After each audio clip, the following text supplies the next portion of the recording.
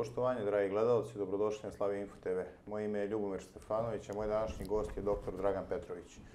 Slobodno mogu reći najveći stručnjak na ovim prostorima za pitanje Ukrajine i uopšte post-sovjetskog prostora. Dragane, dobar dan. Dragan dobar dan, hvala najviše na pozivu. Evo da krenemo od toga, od posledica od posledica, više puta smo pričali o uzroku sukoba, da imamo kakve će posledice imati svet zbog ovoga sukoba u Ukrajini. Pa sve će imati posljedice, ali da napomenem, i zaista vrlo kratko, onaj koje interesuje, ovaj, da se ne ponavljamo, mogu pogledati ranije emisije da smo govorili o širim implikacijama ovog problema.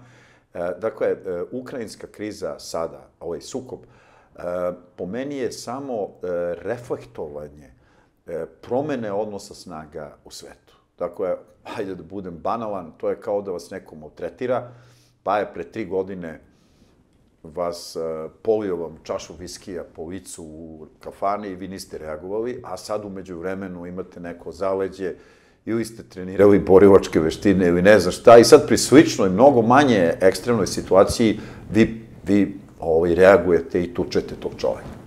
E, dakle, jednostavno, Rusija je i tekako imala motiva da reaguje i ranije kada su otimane vlast, ajde tako kažem, proruskim strankama iz Ukrajine, s tim da tom proruskim, kao i u slučaju Crne Gore, nisu to prosrbijanske ili prorusijanske, nego autoktone. Ukrajina je i ruska zemlja. Prema tome, to su autoktone snage u njoj.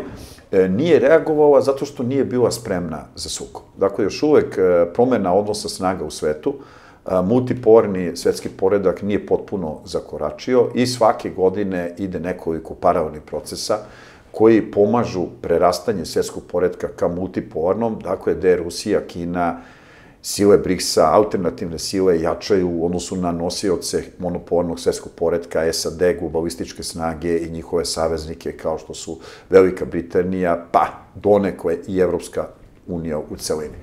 E, dakle, koji su to faktori? E, sve više e, dobijaju na snazi zemlje kontinenti. U savremenoj ekonomiji, to su zemlje tvrde i moći po nauci o međunarodnim odnosima, veličina teritorije, broj stanovnika i kvalitet teritorije i stanovnika, prirodni resursi, ekonomska moć, vojna snaga. To su, dakle, sile BRICS-a ili sile kontinenti. Jedino Amerika u odnosu na ove druge svetske sile bivše ili sadašnje može sa njima da se meri sa tim zemljama, kontinentima, tako da SAD ostaju u svim kombinacijama i u budućnosti važan faktor, e, međutim ne više kao ranije da mogu samostalno da kreiraju glavne procese u međunarodnim odnosima.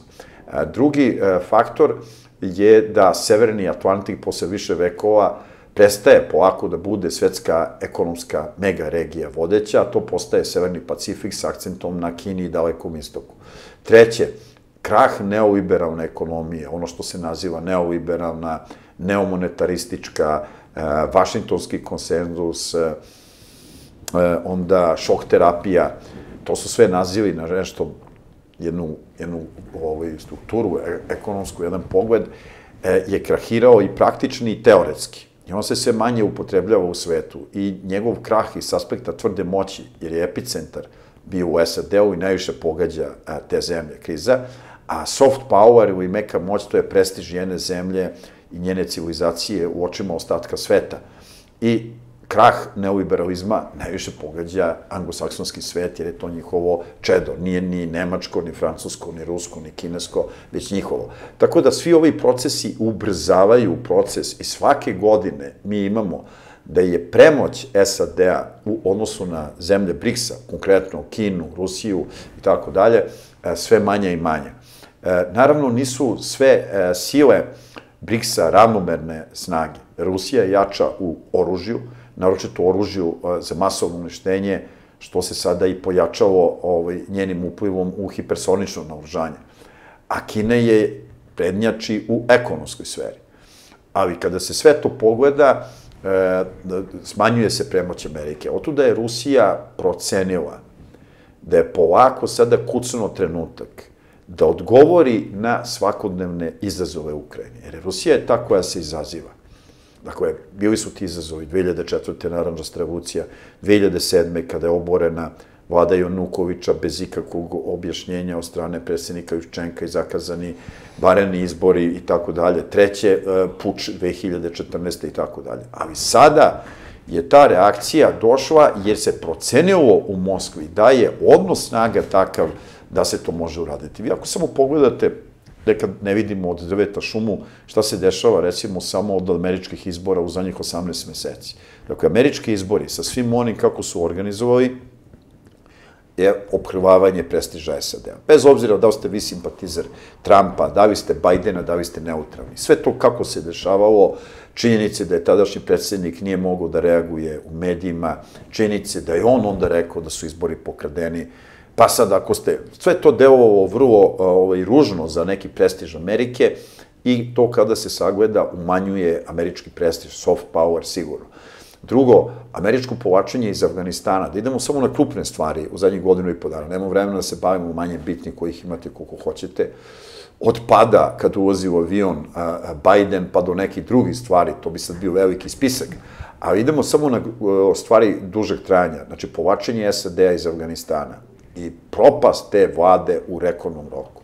Dakle, jedno i drugo je ponižavajuće i one scene kada ti avioni napuštaju i sve to, to sigurno jedan udarac za SAD. Sledeće, Iran je ušao u šangensku organizaciju za saradnju. Znači, jedna krupna regionalna sila, jedna od najozbiljnijih regionalnih sila u svetu, koja su postavljena SAD-u, ulazi u jedan bezbedonosni savez gde inače dominiraju rivali Amerike, najveći na svetu. Rusija, Kina, Indija, Pakistan i tako dalje. I sad ulazak Irana Recimo, Indija je veća sila od Irana, ali nije toliko antiamerički e, postavljena. A Iran jeste. I onda ukupan utisak za ŠOS je da je to već sada jedan savez koji potpuno istiskuje utice Amerike. Idemo dalje. Neuspela e, obojna revolucija u e, Kazahstanu, iza koje besumnje stoje logistički atlantističke snage. I sad imamo 21. februar, dakle, da se simbolički vraća posle 8 godina, puč je bio 21. februara 2014. sa 21. februara 2022.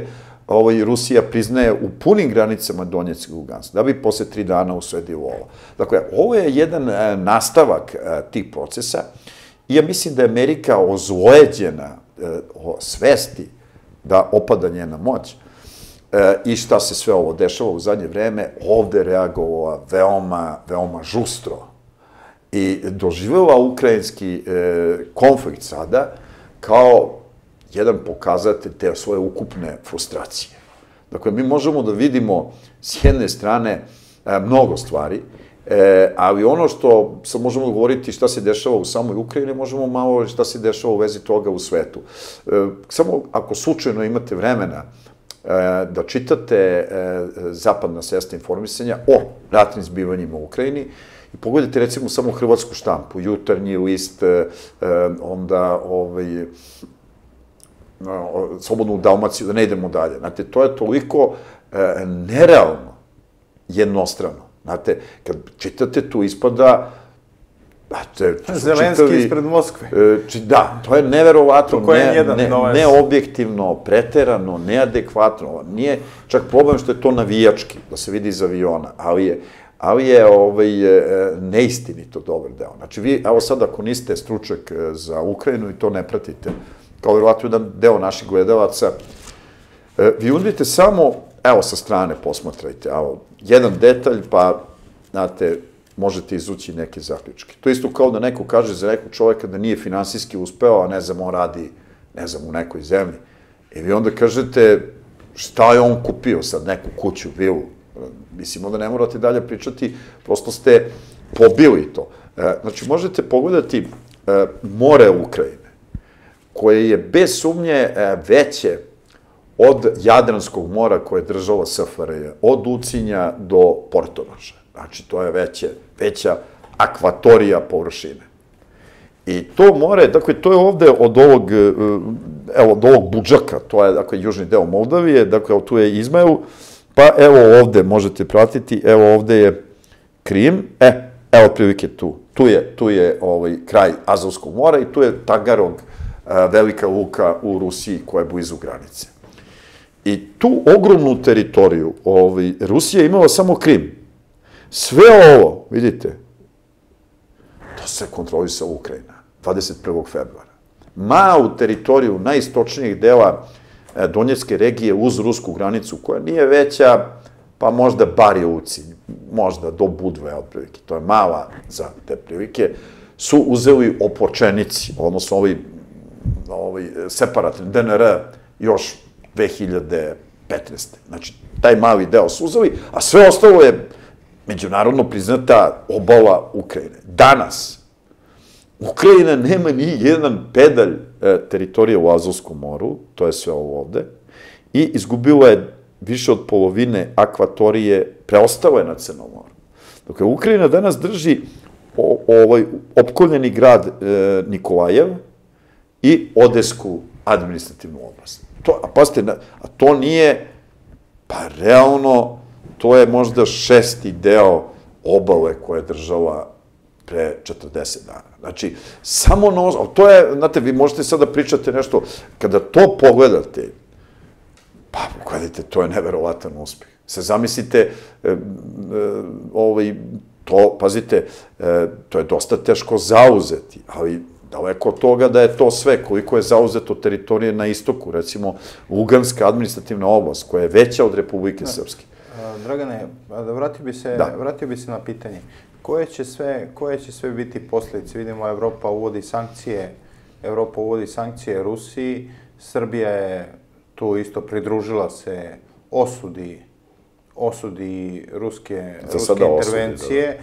i vama je tražilo izbacivanje Rusije u jednjim nacijama. Oba puta smo glasali protiv, a, protiv Rusije i ruskih nacionalnih interesa. Kakve će sve biti posljedice? Evo krenemo prvo po Evropu, pošto je ona tu najugroženija, pa onda i po nas. Mi smo isto... Evo ovako, što se tiče Evrope, Evropa e, je uvijek bila izdvojen kontakt zbog politike Nemačke i Francuske. Dakle, Nemačka, Francuska i u manjoj meri Italija, koja je najmanje od njih suverena, imaju svoje zasebne interese i to je još Ramsfeld nazvao 2003. Stara Evropa. Dakle, u odnosu na ove istočnoevropske zemlje, koje su takođe članice Evropske unije, Stara Evropa ima jednu svoju politiku koja nije politika SAD-a i koja se razlikuje od te politike. Ja ću navesti čak i pre 20 godina, kad je svet bio, pa tad je bio monopolaran, e, kad je bila druga agresija SAD na Irak, da su se Francuska i Nemačka pobunile.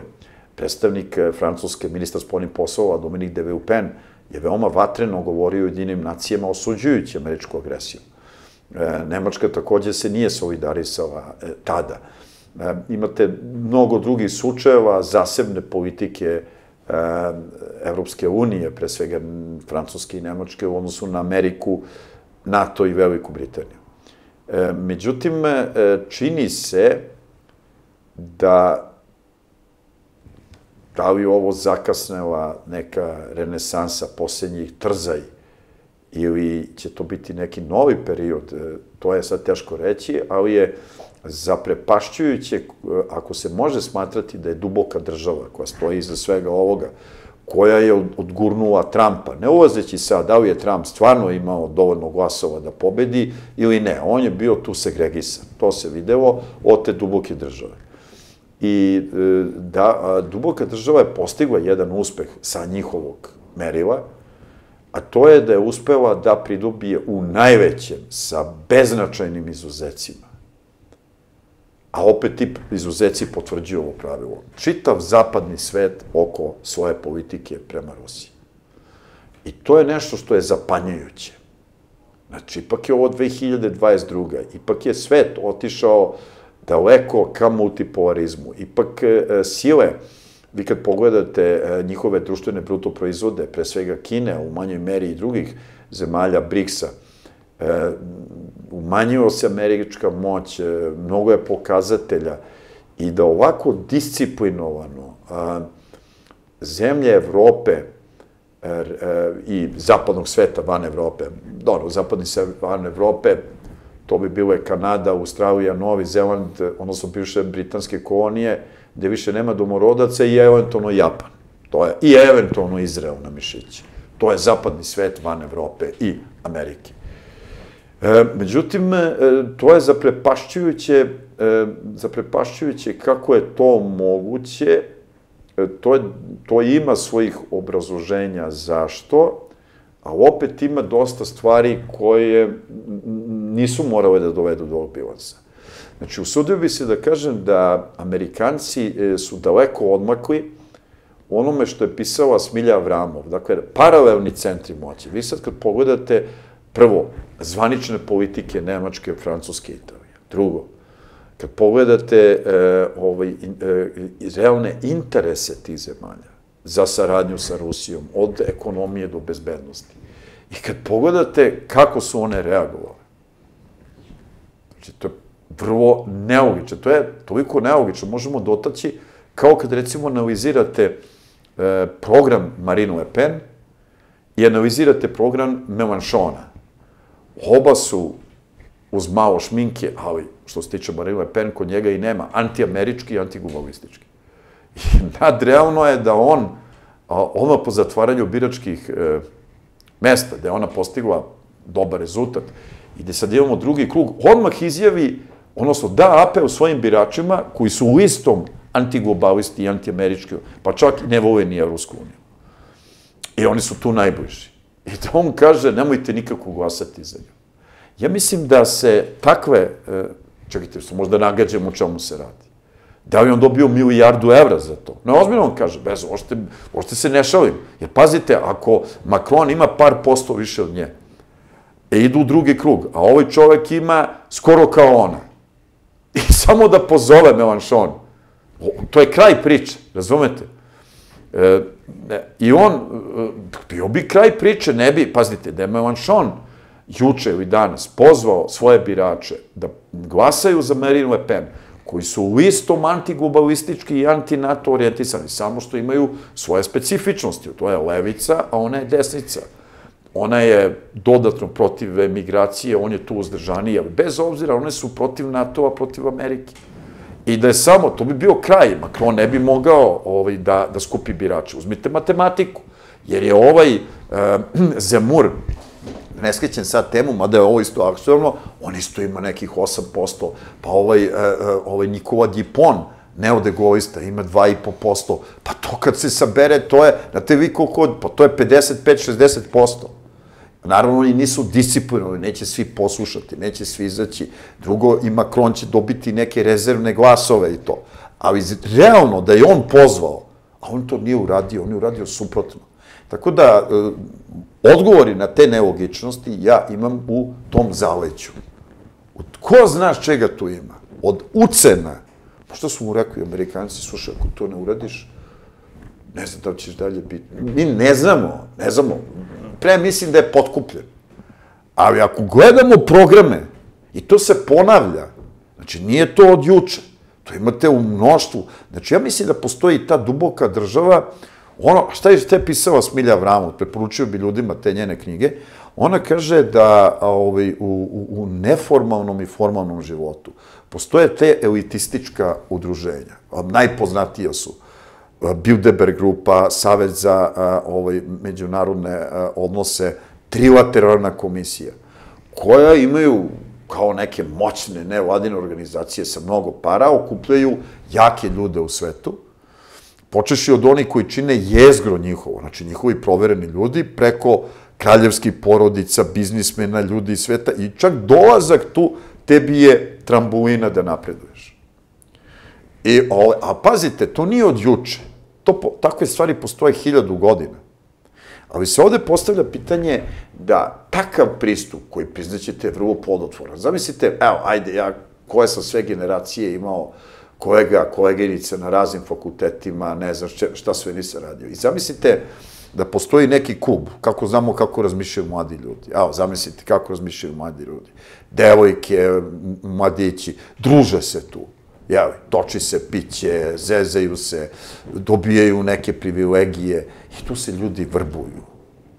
Tu se ljudi, pogotovo ljudi koji nemaju do kraja, ja sam imao od uvek, ali to je porodična tradicija i neki način razmišljanja koji je dosta specifičan, ja sam prilike znao ne, ne, nešto, imao sam neku ideologiju, neku logiku i pratio sam to. Nažalost, najveći deo ljudi, mlađih i uopšte, se povode linijom manjeg otpora. Evo, tu je ta ekipa, pa i on u SNS-u, da bude na žurci. Da... Znači, ne razmišljaju svi ljudi, ja razgovaram često ili ne znam sa nekim ljudima, pa i pitam, pa dobro, za, i tako dalje. Znači, ljudi su skloni e, e, haos sistemu. Sigurno da jedan broj ljudi koji su bili do juče Rusi, maternji jezik im je ruski i roditelji su im vernici Ruske pravoslavne crkve, završili su u neonacističkim odredima, eto tu je ekipa, pa se druže, pa ovako, pa onako. Znači, e, evo, najveći vam jedan primer koji u nauci se uzima kao jedan od najboljih primera, to je poznato istraživanje, eksperiment, koje je uradio, mislim da je Mac, Mac Kane Milgram, tako nešto, bilo su dva autora, kraje 60. na Harvardu Znači, e, e, za jedan veliki eksperiment u psihološkoj nauci zavrbovano je nekoliko stotina studenta. Znači, došli su i kažu, dobar dan studenti, hoćete li za honorar da učestvujete u eksperimentu? Oni kažu, hoćemo. I eksperiment se sastoje u tome da su oni u parcijalnim grupama, po njih troje, četvoro, pet, dođu i sedi glumac, stari čovjek, koga oni ne znaju. To je čuveno naučno istraživanje koje se uzima kao primer a, kako se može uticati na ljude i kako oni padaju na autoritet. Čovjek je bio glumac, stariji čovjek, možda 60. godina, I on je sedeo tu i sad bila je neka sprava električna, nešto da, da... I sad taj čovjek čita neku knjigu, neki tekst koji vi držite pred sobom. I vaš zadatak je kad god on pogreši da uključite električni napon. I sad čovjek čita i namerno greši sve i oni pritiskaju sve jaču i jaču voltažu. Pazite, to su punoletni ljudi, znači nisu oni gupi da ne znaju šta to znači. A naravno da njega nije tresla struja, to je bio eksperiment, razumete, znači to je se bila falša, oni to nisu znali. A njima je profesor univerziteta, taj, naređivao, odnosno on ih je pitao, John, da li ti hoćeš da učestvuješ u eksperimentu za 5 dolara? Pita ga njegov profesor na koleđu i on kaže hoće. I dođe tu i sad ovaj mu kaže pritisni, pritisni. I njih 85% je nastavilo da pritiska elektrošokove, čak i na ivici da čovek može da dobije teške povrede ili da umre. Naravno, sve je bila laž, sve je bila gluma. Ali eksperiment pokazao da njih nekoliko stotina 85% pritiskalo do ivice smrti. Samo 15% je ili počelo da plače i da...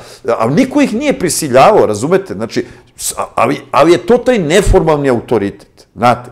Recimo, evo navišću vam, ja dan kad sam e, studirao, e, kao, bio sam, bilo je na, mislim, na političkim naukama da je bio natpis 2001. 2002. sledeće.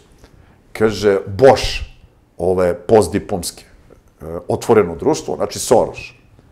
Kaže, pozivaju se studenti završnih godina i postdiplomci fakulteta političkih nauka da dobrovoljno uđu u tu Bošovu školu i kaže se sledeće.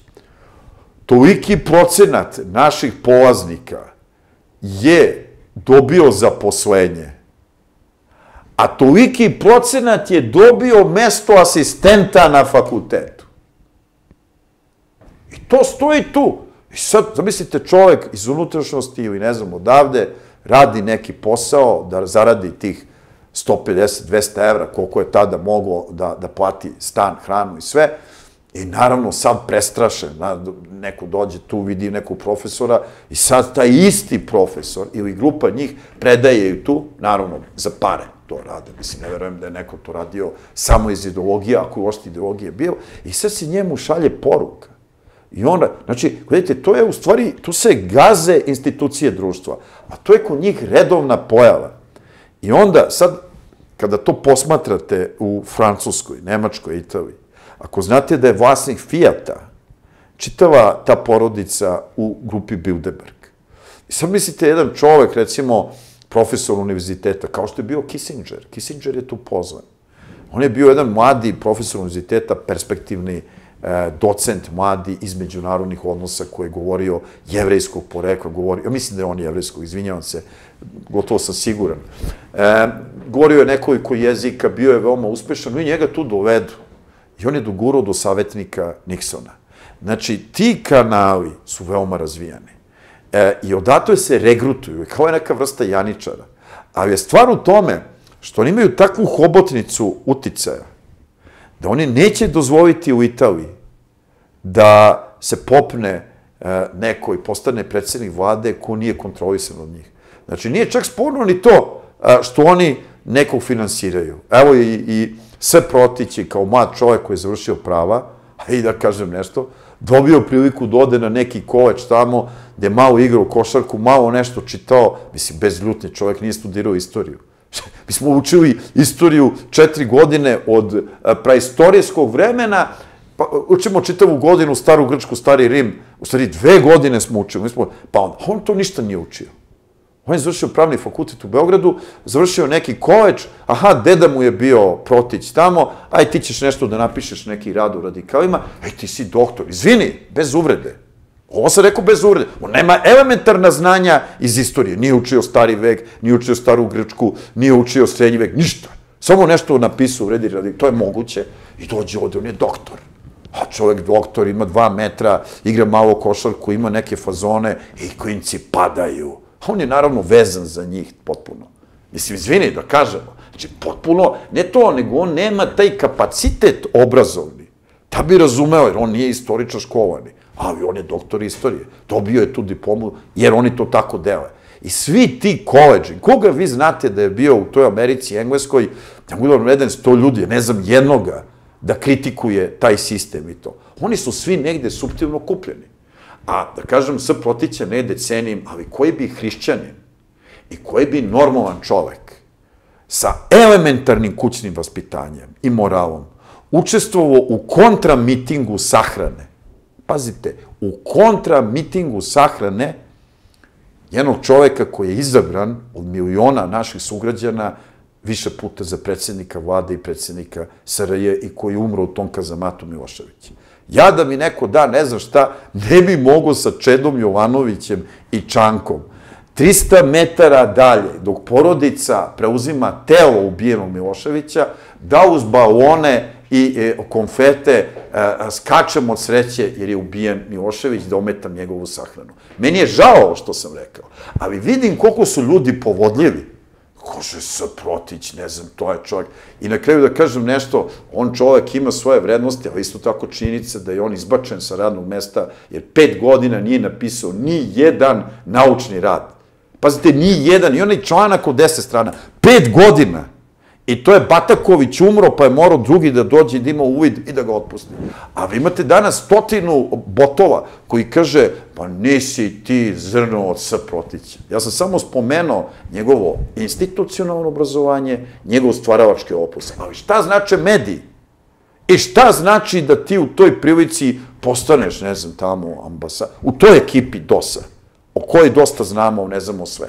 Meni je žao ovo, nemam ništa protiv čoveka, pao da mi na pamet, Dragan, ali ovaj, e, hoću da kažem koliko je i narod suđen. Znate, narod je prilično ovde e, suđen, Pričamo i o, i o domaćem i kod nas, ajde da, da se završimo. Da dakle, što se tiče zapadnog sveta, Amerike, ovaj, Nemačka, Francuska, Italija, one su apsolutno, za razliku od Amerike, nemaju te moćne resurse, e, nemaju moćne resurse, jednostavno one zavise od uvoza sirovina i polusirovina, upućene su na Rusiju, dakle, to su naj, najkvalitetniji, najbliži, najjeftiniji energenti, rude metala i nemetala, to su prosto i u tom, u tom nekom kontekstu, to je prirodan jedan save saradnje.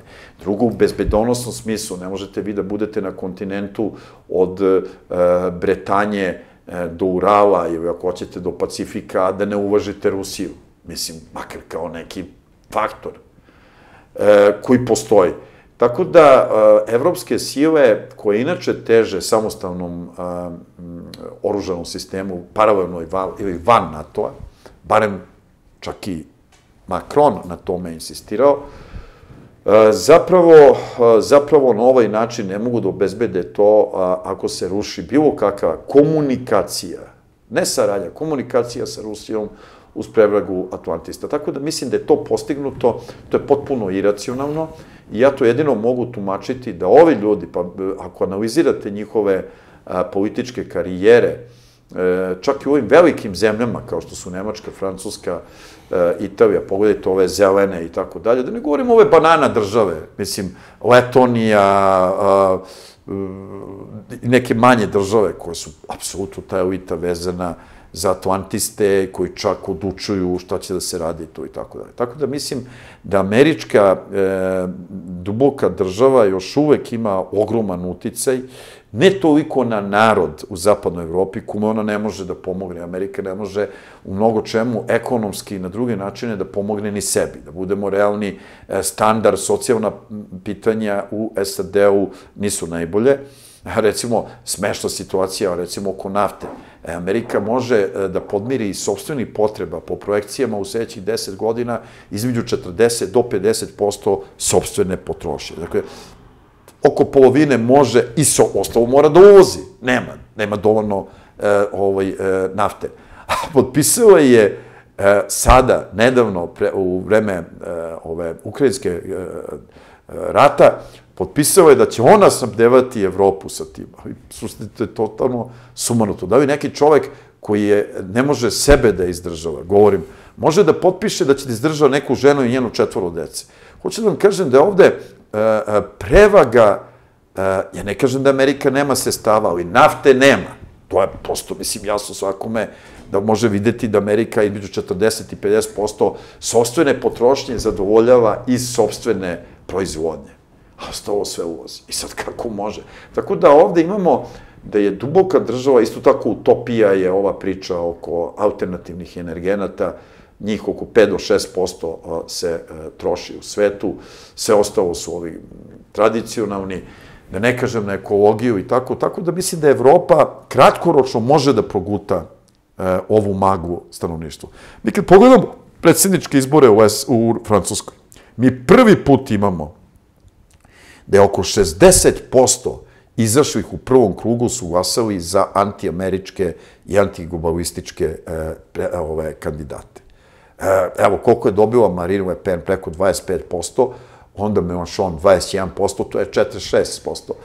Onda ovaj, e, ovaj Zemur između 7 i 8, koliko je to? 54% i Nicola Dupont 2,5%, to je 56-57%, ima još tu neki komunista sa 2% i to. Pa to je 60% ljudi je glasao za kandidate koji su antiamerički orijentisani. I sad oni će sa tim akrobatikama da jedan deo ovih eh, Melanšonovih pridobiju ili za Makrona ili neće možete glasati za meni Lepon. Ali ne možete tu akrobatiku neograničeno da vodite. Znači, pokazali su Francuzi da 60% ne vole Ameriku ni NATO. I to je jedan kapital. Sad se samo postavlja pitanje da se pojavi političar i organizacija ili neki savez koji će to da realizuje. E, tako da mislim da Amerika još uvek putem za kulise, a da ne govorimo da ona kontroliše najvažnije medije, kupljeni su ovaj procenti e, Monda, u Liberacionu, da ne govorim, mislim da se još Figaro drži, koji su u globalističkim rukama. A šta mislite sad kad bi se... Tako da u sve te a, a, neverovatne stvari, to je kao da držite novčića ovako da stoji. On ne može da stoji stalno toliko, ako ga deset puta bacate, neće se ponavljati da on padne tu, nego će pasti na jednu ili drugu stranu. Tako da mislim da Amerika je još uvek i duboka država kao neko ko je nekad bio moćan, se posle više godina kao veteran, recimo u nekom sportu, vraća i to izgleda kao Džajić kad se vratio u Zvezdu, vi ste mladi, on je bio svetski igrač par excellence i bio je u inostranstvu i vratio se već ostareo, ostareo je bio u 31. godini života, to neko može, neko ne, i zaista u toj sezoni u kojoj je Zvezda katastrofalno prošla, 77. 78 a on se onda povukao, Zvezda je zauzeo, mislim, četvrto mesto, e, sramotno je poražena u kupu šampiona od Borusije sa 1-5-0-3 i Džajić je imao ponižavajuće trenutke. On sam kaže kad je poražena u Splitu od Hajduka 3-0, a ovaj Rožić, od koga je Džajić mnogo bio brži, stano mu je skidao lopte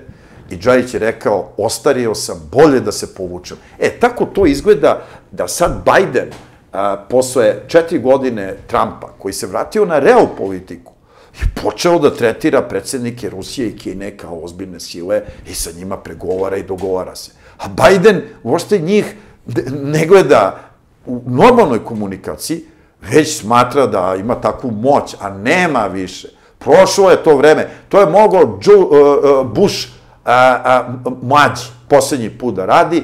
Prošla su ta vremena. E sada, još uvek se nešto može nekim trikom prevariti, možete Francusku koja ima 60% stanovništva, bez ikakve propagande, protiv NATO-a i SAD-a, koji je uvukao Sarkozy u NATO ponovo 2009. na prevaru, ali je samo pitanje trenutka. To može da bude, sad možete da otvorate šampanjac da se nekako pobedi Marine Le Pen za dve nedelje. Ali sutra, preko sutra, dovoljno je da neki musliman ponovo odseče glavu nekome francuskom profesoru i da to postavi negde i da se generali e, obrate javnosti i tako da. Dakle, dovoljno je da se zapali nešto. Znači, nije dovoljno da nešto smuvate oko izbora gde su Amerikanci majstori.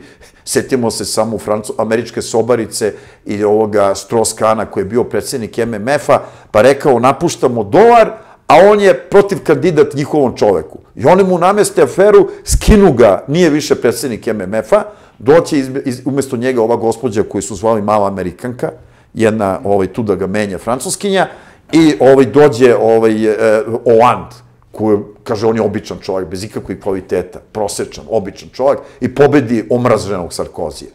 E, to, to možete te trikove da radite neko vreme ali ne možete neograničeno. Tako da ja mislim, a kakav je naboj u Francuskoj u drugim zemljama posle ove pandemije i posle svega ovoga, šta sad kada e, e, šest, e, koliko procenata žitarica Rusija i Ukrajina nose, da ne idemo 34. na ne idemo na energente i to. Evo, Tako da da da vidimo jednu stvar.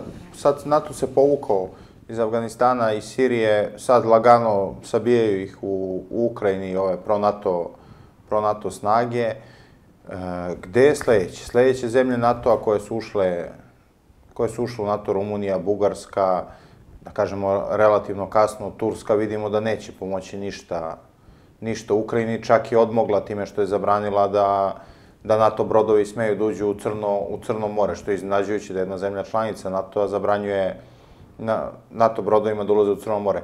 Da li to već govori da će se ove zemlje konkretno mislim Bugarska, Mađarska, Turska, koje nisu pomogle ništa Ukrajini, da će one možda i napustiti NATO. Pravo jedan primjer da je Francuska zajedno sa Grčkom napravila uh, ugovor protiv Turske, koja sve su članice NATO-a. A to je bilo prošle godine, preprošle. Prema tome, vi sad već imate uh, partikularne te interese, dakle, čak i Macron, uh, koji je, ajde kažem, najpovoljniji političar od prvih deset u Francuskoj za Amerikance, da je negde nepoćudan. Macron uveliko radi na, samo, na oživljavanju samostalnih evropskih oružanih snaga, paralelno i čak van NATO-a. Tako da to su procesi, mene to podsjeća na zadnji vek Rimske imperije.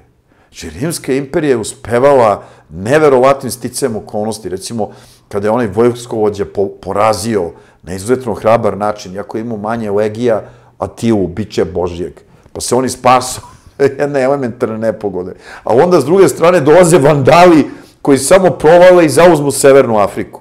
Pa onda dođu i na kraju, pa onda ovi, e, ovi varvari koje su oni plaćali da ih branjaju, brane od drugih varvara, sada se oni pobune pa zauzmu Rim, što je na kraju da. Tako da ja ne verujem, mislim da je e, američka hegemonija ovako kako je zamislila ovaj, u ogoljenoj formi, Dakle, Amerika je i dalje e, prva među e, nekoliko svetskih sila, najjača među njima. Ali nema više moć kao ranije da sama kreira sve glavne e, pravce u međunarodnim odnosima. To je suština priče. A oni idu na jednu rigidnu varijantu, tako da mislim da će to izazvati niz drugih reakcija. Ono što je najveći problem duboke države nije čak ni ta podela Kina, Rusija, zemlje BRICS-a, određeni evroskeptici u zapadnoj Evropi i tako dalje. Najveći problem e, ovaj, duboke države je što stanovništvo, osnovno stanovništvo u SAD-u i Velikoj Britaniji je izrazito nezadovoljno sa nekoliko ključnih stvari u društvu. Prvo, da otuđena manjina, koja nije veća u jezgru, od 0,1% populacije, raspolaže sa više od pola društvenog bogatstva. I ti ljudi kupuju medije, kupuju političare, kupuju institucije, kupuju elitu. Ne možeš ti, e, to je bilo tako u Habsburgskoj monarhiji, gde je šaka Nemaca vladala svim ovim narodima i to se stalno širilo. Pa onda naprave dualni dogovor sa Mađarima, pa onda hoće tu da budu trijalističko, četvrilističko uređenje, hoće Hrvati, pa hoće e, e, Česi, pa hoće, pa to ne može na kraju, e, razumete, znači, jednostavno sa toliko nezadovoljnih. Znači, Trump predstavlja nezadovoljne u SAD-u. A BRICS je samo jedna od dimenzija nezadovoljstva e, e, ovaj, ovaj stanovništvo Velike Britanije. A da ne govorimo o partikularnim interesima Škota, Severnih Iraca, Velšana i tako dalje. Tako da to je nešto kada se uđe u taj sistem. Naravno da oni nemaju kapaciteta sve to parcijalno da rešavaju. Ali ta hobotnica, koju mi možemo nazvati, ima sto pojavnih likova, to je NATO, Evropska unija, MMF, Svetska trgovinska organizacija, sve to isti kao. I svi onda oni dolaze i kažu daju podršku, ne znam, Kanadi protiv Quebeca. Daju podršku Londonu protiv Škotske. E, I tako dalje. Ali to ne može tako neograničeno. Znači, ne, ne možeš, ti ćeš u jednom trenutku imati većinu, šta ćeš da radiš po pitanju pandemije? Da li će ti isti ljudi koji jedva prihvataju da rade sve više i više za manje nadnice?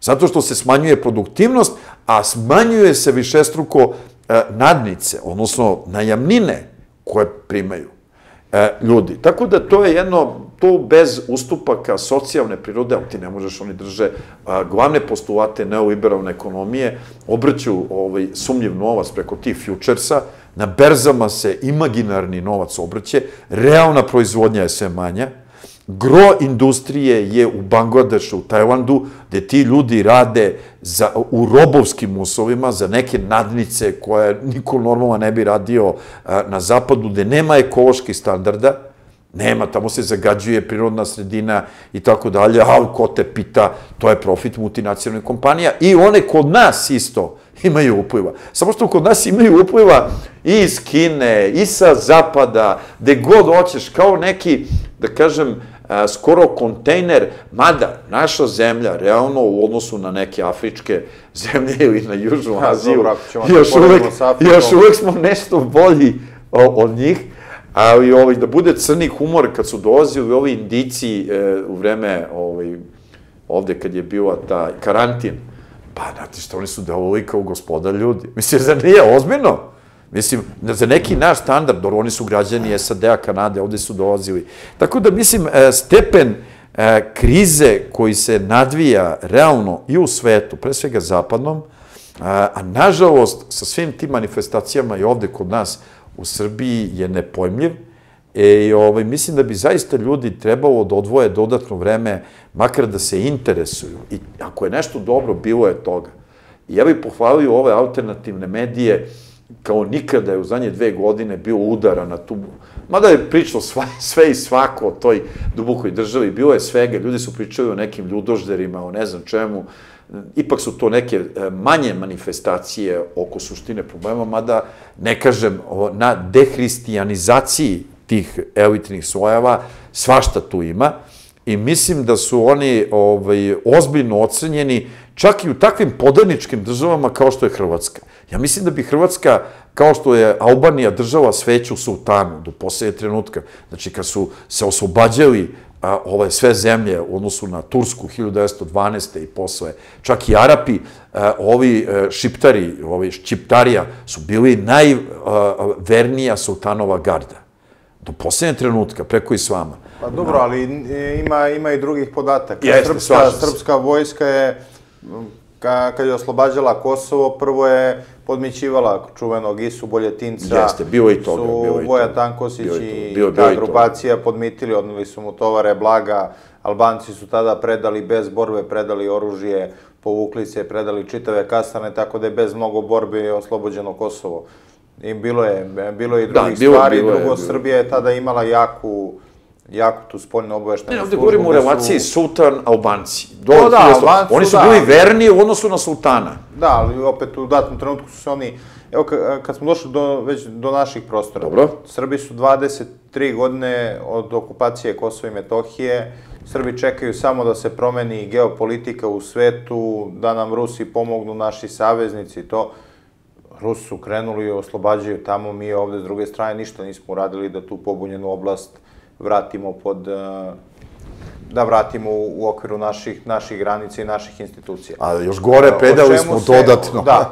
A, šta, gde mi, tu, gde mi tu grešimo? Da li nismo shvatili da li nismo shvatili trenutak ili možda treba i dalje da čekamo, ne znam šta Pa, da bi znate šta, e, režim Aleksandra Vučića, meni je žao, sad ispada da ali on je zaista toliko harizmatičan i toliko je uzurpirao vlast. Šta je, šta je harizmatično? E, mislim, harizmatičan u smislu da, da, da je sve vezano na njega. Mislim, nije vezano sada za Marka Đurića, nije vezano za Selakovića, nije vezano za onoga Glišića, predsednika izvršnog odbora. Vi kad kažete vlast, vi pomislite na Aleksandra Vučića, to je prosto tako. Znaš sad, može da bude i drugčije, recimo kad... Je- jeste tako, ovi su poslušnici. E, naravno, ali znači to je jedna autoritarna hijerarhija, dakle to je prava adresa moći. E, ovaj, taj režim jednostavno, ja, e, oni su uspeli da umrtve narod i mora se priznati da je dobar deo naroda umrtvljen. Znači, jednostavno, sva, sva ta pitanja se čine običnim ljudima manje bitne, da se on nešto lično angažuje. Recimo, pričam i sa mladim ljudima i sa, i sa raznim, i onda oni e, se slože da stanje nije dobro u zemlji. Međutim, prosto je takva nekako atmosfera da je sve to umrtvljeno. Znači, neka akcija paralelno je slaba. I tako prolaze godine, taj režim je monopolizovao sve, kontroliše situaciju, e, vrlo loše se opozicija postavlja, evo videli smo sada na izborima, pa evo najbolji dokaz, ja sam govorio da umesto da se napravi taj patriotski blok i to sve kako je bilo, jer mi imamo ovaj, da je uvučeno dva krila pokreta za Kraljevinu Srbiju, koja su zapravo zatrovalo opoziciju. Jer sad treba pitati gospodina Miloša Jovanovića, gospodina Boška Obradovića, gospodo, vi ste od takve široke mogućnosti da napravite jedan programski patriotski blok. Ušli ni manje ni više nego u koaliciju sa dva raspukova krila pokreta za Kraljevinu Srbiju.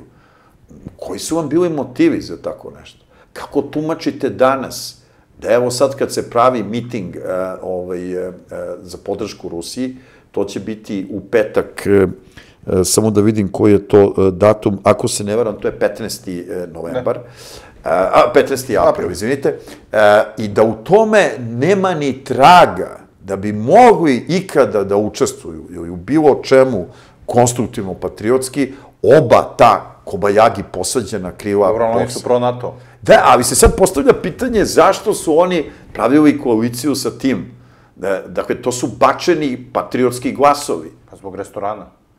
pa, da, da, ali, e, e, naravno, naravno, ali to je žalosno. E, žalosno je tako. To je žalosno.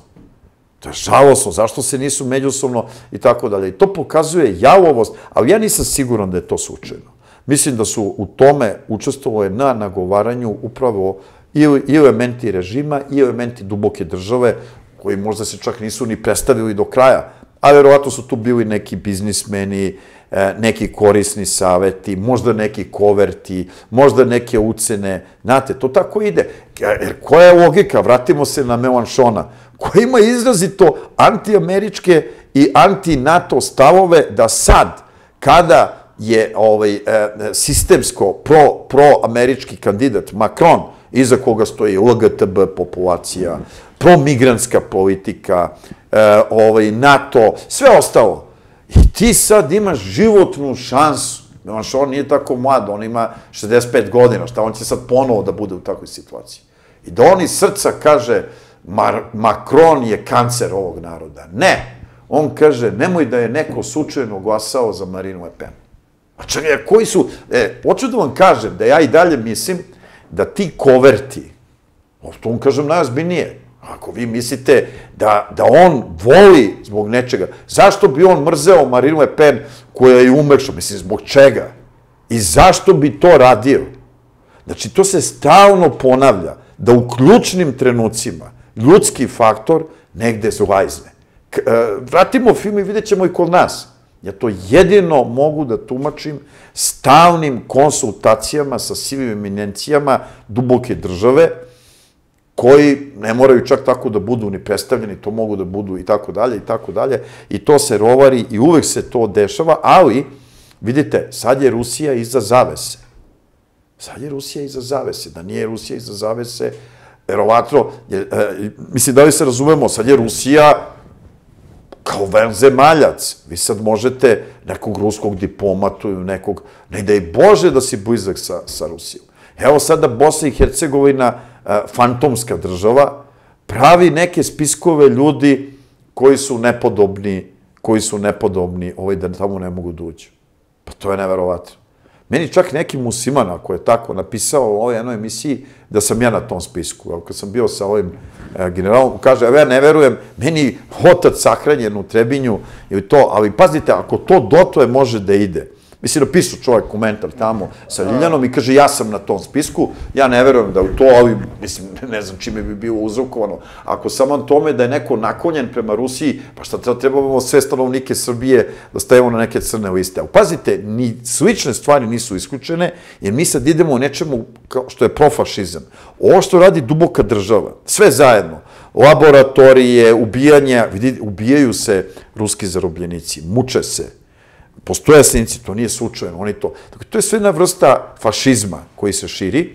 Inače, da vam kažem da je suština ideologije ukrajinskih neonacista, znate koja je suština? Ljudi nikad nisu čuli o tome, ja ću da kažem.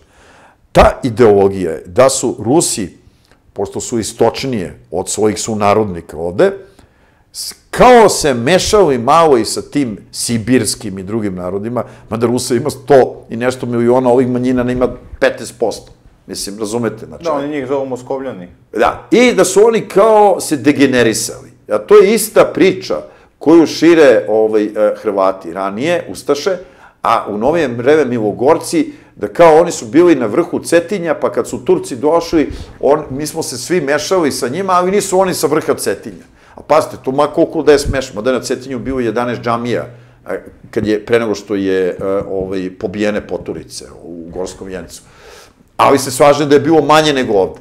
Međutim, to je sve sumanuto.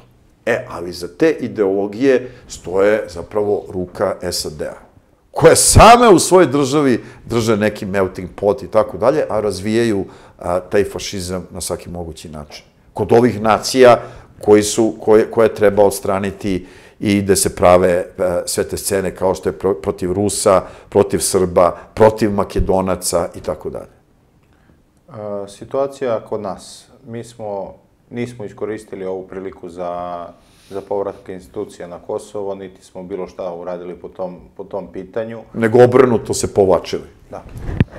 kako vidite sad dalje, evo, sastanak Vučić, Đilas, formiranje verovatno vlade i vlasti Tu treba da vidimo, biti... tu treba da vidimo, ja sam još uvek opreda, oprezan dok e, ne vidim to moguće je, ali ne mora da bude 100%, vidjet ćemo. Ako bi se takav vlast formirala, što je inače, onda bi to pokazalo, uh, vidite, diferencijalna je tačka uvođenje sankcija Rusiji. Zašto? Ako bi se to, ovo sve nekako može da se podvuče ispod žita da se nekako... Ovaj, najjača strana uh, režima Aleksandra Vučića je spoljna politika.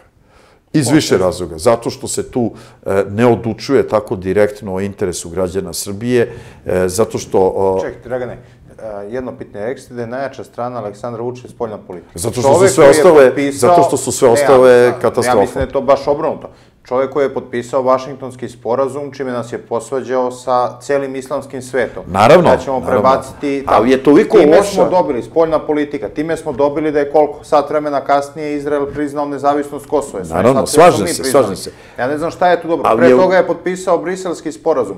Povukao je povukao institucije sa ne, severa, to, severa Kosmeta. Čekajte, šta je, koja je dobra strana? Vidite, šta smo mi e, dobili bilo kojim njegovim međunarodnim Slažem se, ali je, toliko, ali je toliko loša ekonomska i socijalna politika i unutrašnja politika. Izvinite, ja Kosovo i Metohiju tretiram kao unutrašnje pitanje, a ne kao spoljno pitanje. Dakle, e, e, loša je spoljna, ovako, spoljna politika nije najbolja, ali ona prosto svojom strukturom Pazite, tu ne treba brkati da strane sile gospodare Srbijom.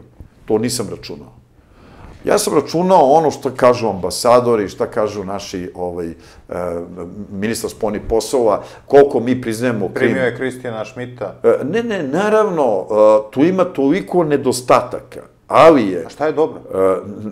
Manje je dobrog, ali je, je ekonomska... Dobro? Pa dobro je što sva ta pitanja ne pogađaju baš toliko građane Srbije. Ili makar oni to ne misle tako. Međutim, ekonomska i socijalna politika i državotvorna politika, tu dolazimo do Kosova i Metohije. Ja Kosovo i Metohiju računam kao unutrašnju. Je toliko loša da je ona negde sad ispala ne tako loša spoljna politika. I moje mišljenje je da zato je jedna od redkih tema koja je slobodna, slobodnija u medijima, pitanje odnosa prema Rusiji i Americi. Tu imate Osudili debate. Osudili smo dva puta. Tu imate, da, naravno, a, ali, ali ovako da preciziram. E, kao neki loš džak koji dobija kečeve, ali nije pao na popravni jer još nije kraj godine. Ako se uvedu sankcije Rusiji, to je diferencijalna a, tačka. Posle toga, to je krah. Zašto? Zato što onda Rusija nema motiva da brani Kosovo i Metohiju u Srbiji. Tim više jer i ni režim je ne brani.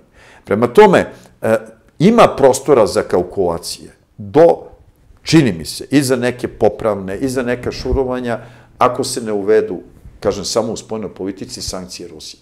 Ako se uvedu te sankcije, to je kraj priče, i plašim se da ako bi režim formirao vladu sa Đilasom, da bi to bio nagoveštaj tog pravca. Ali, kažem, sačekajmo. I ima pokazatelja da Rusija e, deluje i Kina na režim Aleksandra Vučića. I da mu daje određeni prostor e, da on može još uvek nešto tu da uradi. Ali ovo je diferencijalna tačka. Po vama, ovo do sada što je uradio Aleksandar Vučić, ova dva puta što je zabio nož u leđa Rusiji, to vam... To je vrlo nezgodno, ali još uvek ima prostora e, koji nije nepovratan. Dakle, to je loše, nije dobro. To su kao, da kažem, neki, neki ali još uvek e, ima prostora. Dakle, ako ne bi ovako, pazite, mi smo se sada uverili u jednu vrstu totalitarnosti atlantističkih struktura koje sve nas iznenadilo. Dakle, svi smo mi mislili da Amerika, Engleska, NATO, barem negde dopuštaju neka ljudska prava, nešto posle ovoga. Pa to je gotovo fašizam. To je totalitarizam. Vi nekog dirigenta tamo ko je slučajno po nacionalnosti Rus, zato što čovjek neće da da izjavu proti svoje otačbine. Razumete vi stepen, vi ukidate medije, da možete da pratite. Dakle, ostranjene su televizije Rusija 24, e, televizija Carigrad, e, RT i tako dalje. Pa čekajte, dakle, mi sad ne možemo u trećim zemljama da pratimo nešto. Pa, da, pa to je neverovatno. Pa to je neverovatno. Vi, dakle, ne dozvoljavate da se čuje ko hoće da čuje. Ne, ne, ne morate da preporučite, ali to je, to je, sada se to pokazao u jednoj totalitarnoj formi. I mi sad kad to vidimo, sada sa takvim strukturama sigurno nije ovako sarađivati. Mi sad čujemo od nekih ljudi koji su bili pri DOS-u, da su ih bukvalno američki e, funkcioneri hvatali za kravate kad su došli posle 5. oktobra tamo, da ne kažemo na kakvom su oni divu bili ranije, ali da bukvalno su uhvatili za kravate i vuku ih ovako pred svima. Znači, to je jedan e, sistem i ovaj, neke stvari koje su zastrašujuće. Znači, e, treba da čestitam ovim izdajnicima u medijima koji su branili godinama i njihovim saradnicima da se ne sagleda slika tog sveta. Mislim, razumete o čemu pričam. Znači, jasno i ove ljudi koji idu...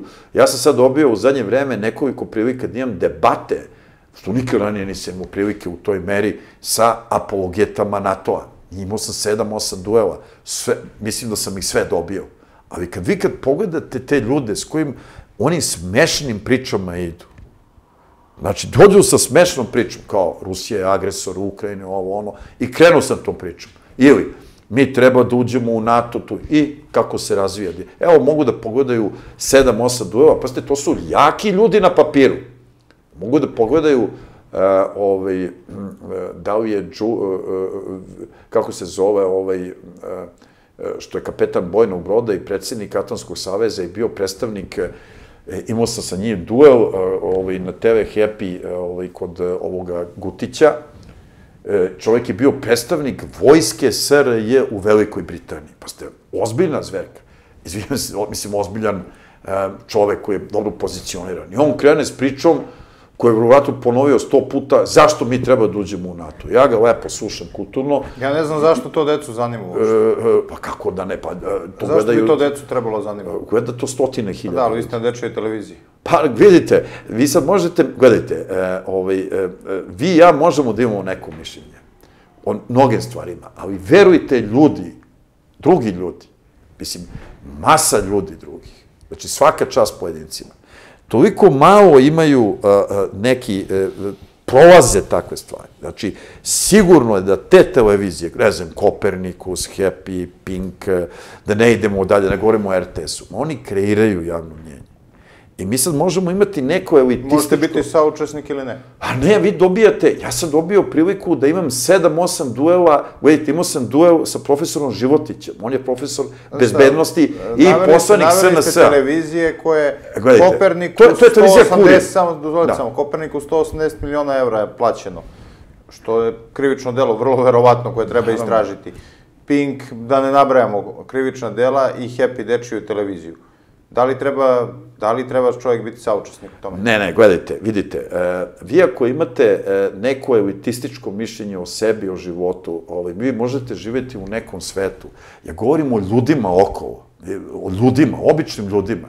Ti ljudi u ogromnom procentu, meni je žao to što, to sam sad siguran, ja idem na plivanje pet puta nedeljno, razgovaram sa onim e, profesorima DIF-a, koji su sve fakultetski omladina, momci, devojke, spasioci, ljudi koji tu dolaze. Njihova saznanja o svetu su tako površna, tako, a, tako skromna. Oni neke proces, oni možete, oni e, u ogroman proces, pa to su fakultetski obrazovani ljudi. Možda idemo dalje, kad idem na strane jezike sa ljudima koji dolaze u te škole, da mi imamo neku utopiju da je, najveći deo građana Srbije ima veoma konture, a da ne govorim recimo sa juga Srbije kada sam bio, kako je njihovo mišljenje o milici i zavetnicima, da ona brani srpstvo, naravno ne svi, dobar deo, I mi ako e, se ne istrgnemo i ne, ne shvatimo da dobar deo ljudi zapravo vrlo dobronamernih ljudi, sa kojim, znači što više komunicirate sa ljudima, onda dolazite do zaključka koliko su njihove informacije, dobar deo ljudi nikada u životu nije čuo magistarka engleskog jezika, nikada nije čuo za profesora Kovića, nikada nije, razumete, vi upoznate, e, upoznate dosta ljudi koji ne znaju, pazite, ja ću sad nešto da vam kažem, vi i ja i drugi ljudi imamo uvid u strukturu o, o, po polnom sastavu naših gledalaca. Ja ću sad da kažem, proveren, mogu da imam sliku toga, da je emisiju Pad Srpske krajine, koja je imala oko milion pregleda na Srb, e, Info, gledalo, imaju tamo precizni podaci, kompjuterski, koji se obrađuju, kao što vi ja, 97% muškaraca i 3% žena. A razgovarao sam sa Goranom Šarićem i pokazao sam mu to, jer sam to isto fotografisao. Emisiju njegovu sa 900.000 pregleda na Srbin Info je posmatralo 94% muškaraca i 6% žena svih uzrasta. Dakle, vi prosto morate da shvatite.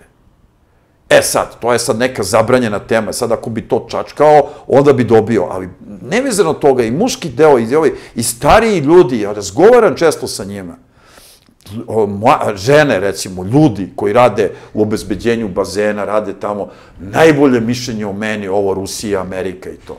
Ali ako pipnem Vučića i to, naljute se u ogromnom procentu. To je stvarnost. Dakle, jedan deo ljudi ti postoji. I ako uh, vi... Šta vam kažu na tim televizijama kad krenete da pričate o režimu Aleksandra Vučića Uh, vidite, uh, one, uh, prvo, uh, što se mene uh, lično tiče, mene niko i ne zove da, na te teme. Ja nikada tu ne bi dospeo da ja nisam stručnjak za Ukrajinu, posovjetski prostor i Francusku. A kako sam radim tu gde radim, mi imamo kodeks, znači koji je propisan tamo, da kada odemo i kada nas zovu, moramo da pričamo samo o spoljnoj politici. Znači, prvo to je kodeks, znači neki moral. Nije zakon. Da isto kao, ko, znate šta, e, ima i zakon, možda budete kažnjeni zbog toga, a sad se to od slučaja do slučaja pokreće. E, to je isto kao da radite kao blagajnik u Narodnoj banci sa gomilom novca i pitaju vas prijatelji zašto ne uzmeš a, jedan štos novčanice. Znači, prosto, prosto je to tako. Gledajte, ali e, nevezano od toga, ja mislim da je ovo isto jedna dobra stvar. da, e, da sam imao 7-8 duela, mogu da pogledaju sa tim, e, ovaj, stao mi je stvarno mozak, taj kapetan bojnog broda, to je sad bio, da li je Vinić, Vilić, ima neko prezime, inače je Srbin, e, kako je prošao posle tih argumenta koje sam izneo, čak i neke analize šire, kako je prošao a, profesor univerziteta iz oblasti bezbednosti, Životić, koji je poslanik Srpske napredne stranke. Znači, ja dolazim na kurir televiziju i ne znam s kim sam. I čovek odmah kreće, Ukrajina razbila Ruse, Rusi su agresori. Ja slušam, slušam, ne znam, ne znam čoveka. Ovo vidim da je doktor za bezbednost. I ja mu iznesem činjenice da to uopšte nije tako i on ih prihvati. Vidi se da je kulturan, ima manire. I posle čujem, kaže, on je poslanik SNS-a. Razumete? Znači, e, mogu ba... Evo, bio sam sa, e, sad ću vam reći kako se preze... Imaju trojica i svi su pro-NATO, Miletić. Ima onaj malo puni, e, ovaj, on je doktor nauka, ima ovaj iz Australije, sa bradom. Bio sam sa njim. Pa to ni jedan komentar nema za njega. Čovjek ima elementarno neznanje, sem što favorizuje Ukrajinu i da mi treba da idemo ka NATO. Dakle, upra, pa onda uh, sa Darkom Obradović, samo da pogledate, znači on je najozbiljnije brifovan od njih. Jer on kad krene neku temu, kao student koji ne zna lekciju, ali zna na pamet jednu definiciju da kaže i da se odbrani. Znači on može da izdrži duel dve minute, pet minuta, šest minuta. Čim traje duže, on kaže, aha, Ja kažem, čakaj bre čoveče, ako je cela Ukrajina protiv Rusije, kao što vi kolega tvrdite, kako je moguće da je bio proruski predsednik i vlada? Znači da iza njih stoji biračko telo do puča, koji su zabranjeni. On odmah krene pripremljenu rečenicu, koja je nebuloza. A, kaže, Januković i ta vlada su dobijali izbore dok su bili i za Evropsku uniju na rečima. Čim su odustali? Ja kažem, to nije tačno. Evo vam izborni njihov program tada, da se ukine e, status ovi, e, heroja ovim nacistima, onda da se produži ruskoj crnomorskoj floti na tri decenije u Sevastopolju, da ruski jezik... I ti čim kreneš argumentima, on je šupalj. Prema tome, ono što nama nedostaje je, jeste upravo te debate. E, ne, nemate prilike još uvek da debatujete na temu režim ili ne, ali samim razbijanjem mita o, a, o Evropskoj uniji, NATO-u, mi zapravo činimo jednu vrlo dobru logistiku. Vrlo dobru logistiku. Ja nemam odgovora šta je uticalo na to da isključivo u zadnji, nisam samo ja u pitanju, pazite, tu je general Mitar Kovač, tu je general Luka Kastratović, tu je pukovnik helikopterskih jedinica, naš najbolji patriota, pukovnik Đošić. Sve mogu da nabrojim deset imena ljudi koji su na jednom pušteni u medije da pričaju o relaciji NATO, ne NATO, Evropska unija, ne Evropska unija i Ukrajina-Rusija. To je za mene ozbiljno otopljavanje medija. Šta stoji iza toga, ja ne znam. Ali smatram ovaj proces dobar. Dakle, svaka čast ovom mediju, ovim drugim medijima. Ali je ipak ovo bila jedna prilika da vi imate debatu. Ovi ljudi nikada ovde ne bi došli. Osim o jednoj temi gospodin Vučić nije ništa kriv, to je zajedničko svim ljudima koji... Nažalost, da mi, ja nemam mogućnosti na tu temu, dakle, naveo sam vam kakav je kodeks. Učestvujete na medijima na kojima postoji cenzura? Ne, ne, meni je zabranjeno kada sam predstavljen u ime naučne kuće gde radim, a moja kuća se bavi spodnom politikom, da se bavim unutrašnjom politikom. To je kodeks i to je sankcionisano. I to važi za sve. To je tako kako jeste.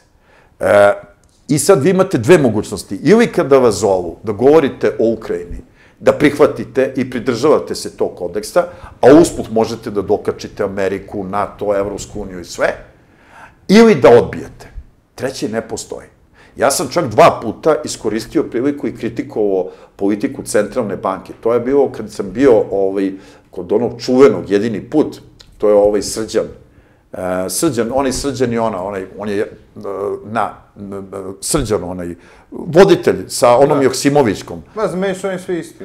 Dobro, bio je, Srđan Predojević je bio voditelj, inače bio korektan. To je onaj čovjek što je prećutao Aleksandru Vučiću, kad je ovaj rekao da su bili... Ne znam, ja ne gledam... Da nisu bili izbori, onda je on rekao, onda je on prećutao. Ne, ni ljudi ne, ne veruju da već dve i po godine nisam upalio televizor jer mi se nešto pokvarilo, ovaj, imam privatnu kuću oko kabla, ali sam da kažem, ja sam, bio je predsednik banaka Srbije, Vasić, a inače SNS čovjek. I onda je on krenuo, to mogu da pogledaju, krenuo da veliča centralnu banku. Ja sam rekao, izvinite, iako nije u mom delokrugu i tema, tema je Ukrajina, pošto ste vi izašli, da vam mogu da kažem svoje nesvaganje. I ja sam mu ukazao na glavne propuste centralne banke i on je najveći deo uvažio. I uvažio je voditelj. Dakle, ovako, može se nešto uraditi. Nisu stvari crno-bele. Naravno, sve ima svoju cenu. Ali e, nama je potrebna javna debata. Suština ovog čega sam rekao, da oni nemaju argumente. Samo da završim s ovim, Darko Trifunović, koji je možda perjanica, je rekao kod Marića kad smo bili, to mogu da pogledaju, da je 91. godine Putin priznao Hrvatsku. Kao predsednik Rusije. Pazite, to je izjavio tu. I onda je Marić počeo da se smeje i, ovaj, i tako dalje. Hoću da vam kažem, što više duela te vrste, oni se razoružavaju. I onda ljudi kažu, je pazite, nemaju svi ljudi taj, čekaj, čovjek profesor univerziteta, doktor nauka, putuje po svetu, zna svetske jezike, oni njega tako vide. I tek kad napravi takve, takve ovaj gafu, on je sa mnom na radio Beogradu 2, pre tri godine rekao, pobrkao Versajski mirovni sporazum sa Berlinskim kongresom. Recimo, e, to su stvari, to su stvari koje oni kada učine, e, onda i mali perica koji to gleda počinje da sumnja u sistem. A inače, Šormaz je pobegao od duela sa mnom, koji je već bio najavljen, izvinjavam se to što kažem, on je rekao da su mu iskazale neke obaveze, tema je bilo NATO ili ne, e, i tako dalje. A recimo kad je bio duel iz mog instituta, kolege Slobodana Jankovića sa poslanikom e, na, na SNS e, listi Uroševićem, koji je izvorno SPO, kad je kolega Janković, e, to je bilo kod Gutića na Happy-u, izneo argumente oko Ukrajine, on mu je čista mira, a i polenisao sa Dejanom Vukom Stankovićem. Ovaj mu je rekao retardu. I kolega Janković je ustao, poklonio se svima i rekao da mu dostojan i napustio je studio. Hoću da vam kažem da ovakve stvari profilišu dobrim delom javno mnjenje. I ja mislim da su ovo dobre stvari. Da su ovo dobre stvari. Da, bolje tako nego... E, da su, da se vidi sa... Pazite, taj čovek je poslanik SNS-a. I taj čovek, i taj čovek je iz čista mira rekao, inače taj čovek nema obrazovanja. Sad bi mogli da se bavimo gospodinom Milanom Uroševićem, koji nema obrazovanje, koji je postao direktor svega i svačega u Kragujevcu, a onda na jednom doneo diplomu Megatrenda. Razumete? E, i taj čovek sa ovakvim ponašanjem, koji inače tvrdi da su Rusi ubice, agresori i to, dakle, to sve ide u paketu. I mi smo dobili priliku, koliko smo mogli, a mogli smo dosta, da tu pro-NATO jednu družinu raskrinkamo. Više nismo mogli. Nismo mogli, neće ti niko dati da kažeš a, ovaj, o Vučiću ovo i ono. Ja sam čak video Jorgovanku Tabaković, pokušao sam sa mnom da razgovaram oko ovaj, makroekonomske politike i nekih drugih stvari, i ona rekao jednu stvar koju nisam znao, da je moj brat od strica otišao u bolnicu i da je u teškom stanju, a, inače radi u Narodnoj banci, ja nisam znao šta je s njim već nedelju dana i onda nisam razgovarao sa njom o tome. Ali, e, evo, takve osobe su srdačne i razoružavile sa nekim stvarima, ali da smo dobili priliku da imamo debatu onda bi bila druga situacija. Znači, jedino što možemo, dakle, ne možemo da letimo. Znate, ne mogu ja da letim, ne mogu nekoga da šamaram, ne mogu da pravim incidente. Ja mogu argumentima da pokušam da ukažem javno o, o tim stvarima o kojima govorimo. A, znači, dve, tri stvari smo postigli. Da u Ukrajini Rusija nije agresor, da Rusija ne gubi rat, da je to propaganda i laž, i postigli smo da nije dobro za našu zemlju da ide ka NATO-u, da napušta Rusiju i da kveči ka Evropskoj uniji. To nije mnogo, ali nije ni malo. Naša zemlja za sada, Aleksandar Vučić i njegovi ovi poslušnici vode sve suprotno. Jednog od njih i lično poznajete, ovoga Nemanju Stevanović. U pitanju je osoba čiji je otac glasao, koji je potpisnik peticije za bombardovanje Jeste, Srbije. Njegov otac je drugo srbijanac. Da. Jeste. Pa nema to, ovo nije ideološki, nego čovjek je za bombardovanje Jeste, Srbije nažalost, potpisao. nažalost.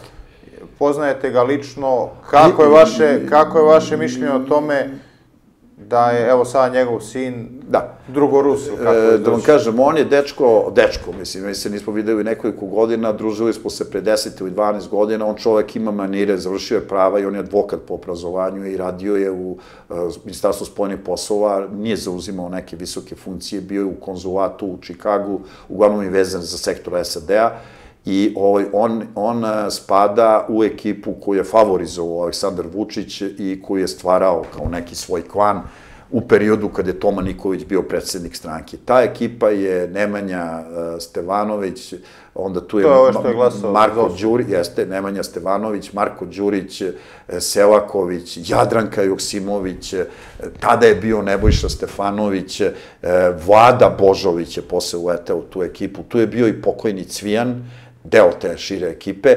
To su bili neki mladi, tada, pre 10, 12, 13 Crni, godina. visoki. I to su bili ljudi koji su, koji su, koji su ovaj, da kažem, bili e, u perspektivi nekoj.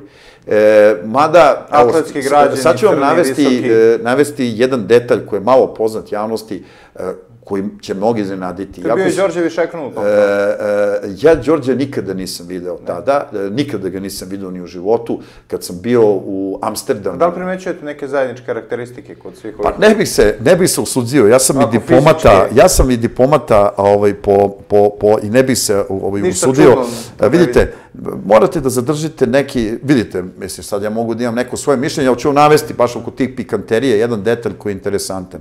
Malo ljudi e, zna za to, jako su oni deo iste ekipe, prilično su miljenici su, ajde da kažem neki klan uz Vučića, e, da Marko Vole Đurić ga. i Ne- Nemanja Stevanović su se međusobno a, toliko mrzeli da su imali i sudski proces, pošto je Nemanja a, prvi imao hrabrosti da kaže da Marko nema završen fakultet.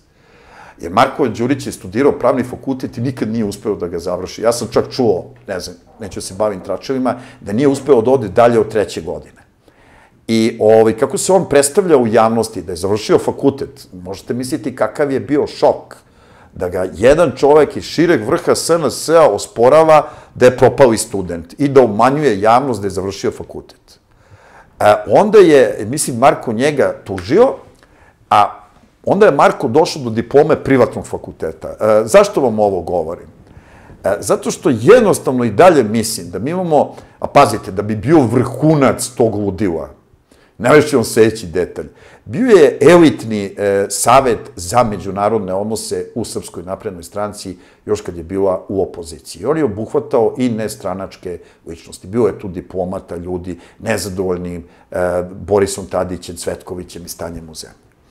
I e, Marko Đurić je bio pozivar.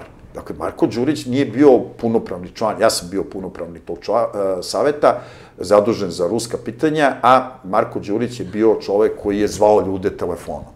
Znači, bio je pozivar, nešto kao tehničko lice oko tog saveta, a predsednik saveta je bio Aleksandar Vučić, još dok nije bio predsednik SNS-a. Kada je SNS došao na vlast, Marko Đurić, dakle, sa nezavršenim fakultetom, sa statusom pozivara, neku ko okreće telefon da zove ljude, je imenovan od predsednika Republike Tome Nikolića za savjetnika za međunarodne odnose. E, možda sam vas razočarao, možda nisam, ali sam izneo neke stvari koje su za nekoga ko voli pikanterije, tračeve, razočaravajuće, a nekoga ko brine o zemlji. On je sad ambasador, Z- z- tako Ne, da, ne, ne, verovatno. devet Ne, ne, zemalja. pazite, to je bila njegova prva funkcija, 2012. Znači, čovek koji nema obrazovanje, koji nema ni jedan rad, čak ni na internetu, da je skopio... Dobro, zove ga drugi čovjek koji nema obrazovanje. E, pa evo, vi ste rekli tu, ovo, ja, ja inače sam imao jedan jedini sastanak sa... diploma zove Marka i- Ja Đurić. sam imao jedan jedini sastanak sa Tomom Nikolićem u životu, a, koji je trajao sat vremena, kad su me oni, ajde kažem, zamolili, ne znam kako, da dovede mog poznanika, cenjenog profesora Darka Tanaskovića, ja sam tada sedeo sa Tomom, Darkom Tanaskovićem sat vremena, i to je bilo preno što je SNS došao na vlast nekoliko meseci pre toga, to je bilo u proleće 2012. I Toma se veoma trudio da pridobije profesora Tanaskovića, da bude jedan od kadrova, da ako stranka dođe na vlast, on dobije e, neku funkciju u diplomatiji i tako dalje.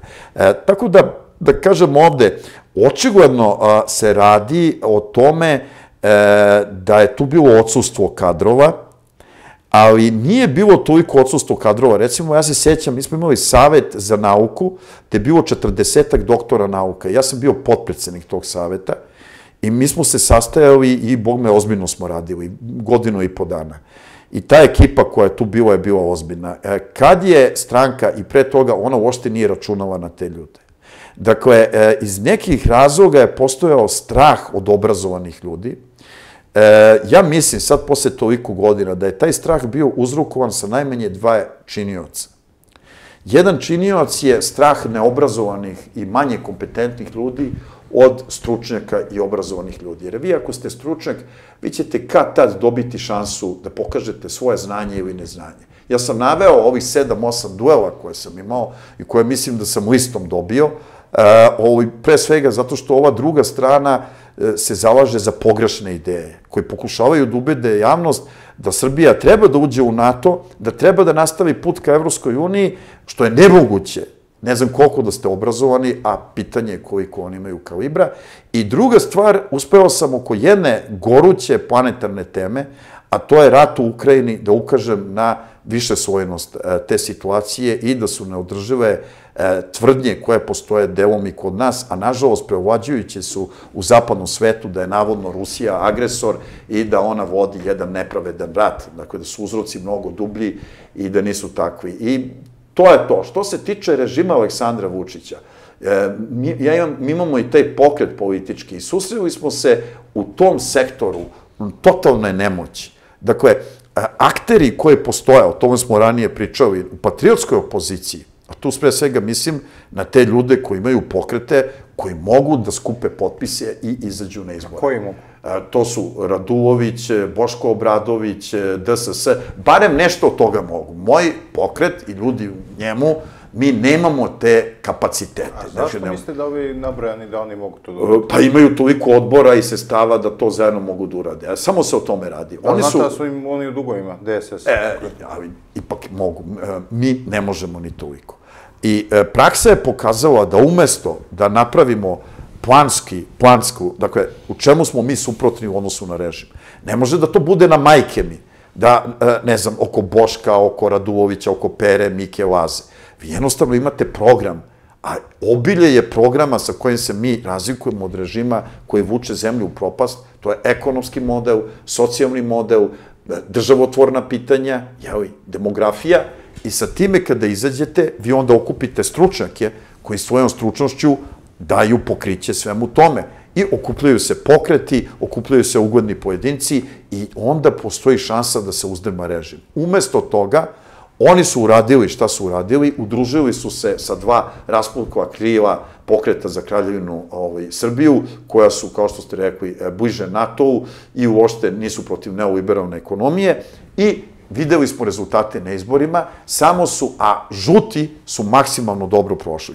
Tako da, e, mislim da u ovome o čemu kažete, ne, ne može mnogo da pomogne jedan pojedinac. Ovde je potrebno da se udružimo, ali mi se čini da je pitanje Rusije, i ovaj e, miting, skup u petak, 15. da su to redke prilike da se stvari iznesu na čistinu. Jer, e, da vam kažem, ja sam e, se sudarao u ovim emisijama i sa ljudima bliskim SNS-om koji su branili Rusiju. To mogu da vam kažem. Nekoliko ih ima. E, Vlada Đukanović i sad dalje da... Bokan. Od i... juče, ne, ne, pro, promenili su sada A priču. Da, da, juče su promenili i obojice. A, Dobro. Bar sam vidio Vladimira Đukanovića u hitvitu kako sad se zalaže za ove, da pletemo kablove, da ne, ne pobegne nam neka od fabrika, ako ne uvedemo sankcije Rusiji. Već su krenuli tu light varijantu, tačno, uskoro će hard tačno, varijanta. To je žalosno, da. Da podsjećaju, tako, vidjet ćete. Da li je tu, evo, pomenuli ste ujedinjenje tih takozvanog patriotskog bloka, Da li je tu u stvari karakter tih ljudi presudan? Da, je, da zanemarimo bilo da. kakve programe, bilo kakve moguće, rešenja? Moguće. Da li tu postoji mogućnost režimu da nekoga kupi uz Karadžorđevu šniclu, nekoga uz čašu vina, nekoga za neko letovanje, stan neki pa, na Dedinju. Da li, da li se tu pokazuje ne, da je karakter kod svih tih ljudi e, slab da bi oni mogli bilo šta da urade? E, ja mogu samo da nagađam, jer većinu tih ljudi sam vidio nekoliko puta u životu. Dakle, a ovaj, uzdržavam se od nekih stvari, čuo sam naravno razne stvari, ali e, ovaj, nemam dovoljno informacija, ali mislim, pošto su oni faktički profesionalni političari, ja nisam profesionalni političar, ja sam čovjek koji se bavi svojom profesijom, pa kao amater sa grupom entuzijasta, kolega, uglavnom intelektualaca, imamo registrovan pokret i pokušamo nešto da uradimo. Ali praksa je pokazala bez sredstava e, i bez šireg udruživanja, da oni nas prihvate, Pa od više takvih manjih pokreta mogu bi da se napravi nešto veće. Međutim, ovde je e, zaprepašćujuće, recimo, navešću vam jedan primer, mi smo imali vrlo živu saradnju u decembru sa ovaj, e, zdravom Srbijom, ovaj, gospodina Stamatovića, pa smo i učestvovali i sa ovim drugim a, koji su se tu okupili. I, I onda čak su nas uveravali da su zainteresovani tako da. Na kraju nas uopšte nisu pozvali e, da se dogovorimo u završnoj situaciji. Ja smo ovako komunicirali. I onda je Stamatović, tad kad su napravili, ja sam gledao to na YouTube, rekao da je njihov pokret e, može da pokrije Beograd, može da pokrije Srbiju, ali na jugu istoku Srbije nemaju nikoga. A naš pokret, slučajno, većinu odbora ima upravo u tom sektoru. I onda kako su oni za malo ajde, za, ne znam koliko im je falilo da pređu cenzus. Prosto je neverovatan amaterizam da neko, uopšte ne mogu da razumem, znači ne mogu da razumem, e, znate, vi kad se pripremate da položite ispit ili recimo da napravite potkrovlje. Vi onda skupljate te pare, ta sredstva da to prebacite. Ja ne mogu da razumem tako komotno... A prebacili su 1%. A, dobro, ali nisu cenzus. E, tako da nije mi jasno, nije mi jasno... se pare iz 1%. E, eto, vi bolje znate, ako mislite na ta mala sredstva, mada sam ja stekao... malo, u pitanju e, ja sam stekao utisak da barem zdrava Srbija je prilično imućna. Čini mi se, možda grešim. I da za nju taj 1% sredstava je mali zalogaj, čini mi se, možda grešim. Ja sam video da oni imaju... Dobro, su legalna. E, Dobro, vi bolje znate neke stvari e, ispo, e, žita i ovako, e, ne sumnjam. Ja te ljude sam nekoliko puta video u u životu, još to toliko puta smo se čuli telefonom, vidim ih u medijima, ne mogu da sudim, ovaj, ali, e, kažem, ukupan učinak je potpuno nelogičan patriotske opozicije. Bio za ove izbore i to je dao jedan, jednu mogućnost Vučiću da se nadmećete samo sa žutima koji su otvoreni e, pro NATO, pro EU, vrlo nepopularni, i ovaj, da ponovo zabeleži jedan po meni nerealan rezultat, dakle jednu prilično ubedljivu pobedu i predsjedničku i parlamentarnu u izborima koji su bili e, prilično dozirani. Ja ću ponoviti da nisam ni izašao na izbore, niti je ovaj, pokret izašao, niti sam ja smatrao taj dan da treba da izađem na izbore. Ovo su prvi izbori gde ja fizički nisam glasao u zadnjih četvrt veka, ali evo i to govori o, o jednom beznađu koje postoji na toj patriotskoj opoziciji za koje ja ne verujem da sam odgovoran i moj pokret, jer mi smo sve činili da se dogovorimo i nismo imali nikakvih velikih uslova ili zahteva da se napravi jedna šira koalicija do koja je potpuno izostalo. Još mnogo gore, napravile su dve ove liste koaliciju sa pokretima za Kraljevinu Srbiju koji imaju sasvim drugi program. I poslanici POKSA i jedno i drugo krivo su izgubljeni za srpske interese sada u parlamentu. To ćete videti oko svih ovih pitanja gde su oni neupotrebljivi. Gospodine Petrović, hvala vam na izdvojeno vremenu. Hvala vama najviše. Poštovani gledalci, moj današnji gost bio je dr. Dragan Petrović. Do sledećeg viđenja, svako dobro.